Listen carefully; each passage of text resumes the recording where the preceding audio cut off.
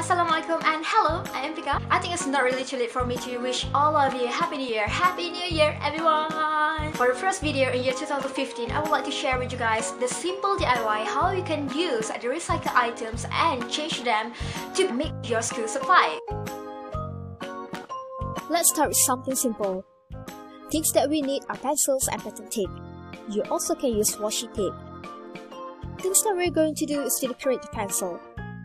Just place, cut, and roll. Continue until all the pencil surfaces are covered. And we are done! Next, we are going to make the strip marks from recycled paper. I cut the paper into the triangle shape and I fold it. Then I use pattern tape to tape the corner of the triangle. As you can see, it is 90 degrees straight. I cut two pictures from my old calendar. Next, I glue the pictures on both sides of the triangle.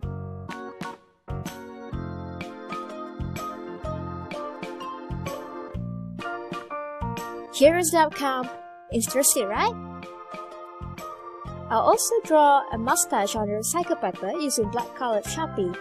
I cut it and glued the mustache on the triangle bookmark. Another awesome DIY project is to recycle your old notebook. I used the non-written pages in my old notebook to make this project. For the book cover, I chose a black A4 paper and cut it into two. Then I used hot glue to attach all the papers together. I used this maroon colored paper to cover the glue side of the book.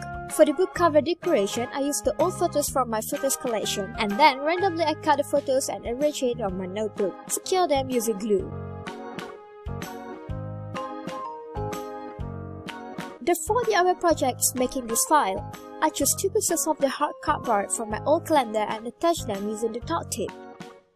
Then I used rubber paper to cover the outer and the inner side of the file. After that, I used a pattern tape to cover every side of the files. I cut an envelope into two different sizes and I used the bigger one as the pocket file.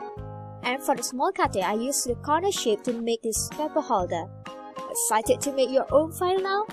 The last DIY in this video is I used the old photo frame and decorate it. I framed 5 things that I won in year 2015. Try to make it because it will inspire you to achieve your goals. It's so simple and fun to make. It all depends on you now.